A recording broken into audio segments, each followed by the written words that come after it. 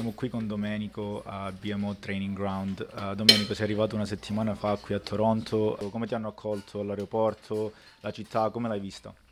La città è stupenda, mi hanno accolto molto bene. Sono molto contento di essere qua. Ora non vedo l'ora di iniziare a giocare. E quali sono i tuoi obiettivi qui a Toronto? Cosa vuoi fare qui con la squadra?